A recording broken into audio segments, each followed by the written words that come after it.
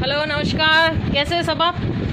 अरे, भक्तों, आज का सवाल मेरा आप सबसे है। तीन सवाल है। तीन सवालों के जवाब चाहिए मुझे।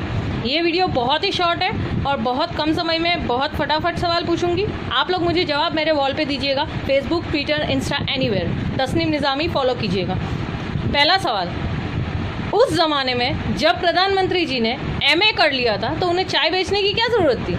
दूसरा सवाल, नर्मदा डैम का सपना उन्होंने इकतीस साल पहले देखा था, यानी 71 ईयर्स पहले, और उनकी एज तो 68 है।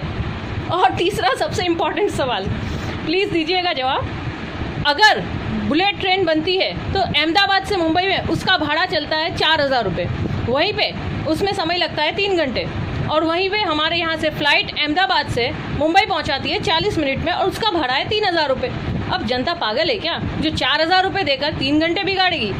भक्तों जागो विकास जाग रहा है और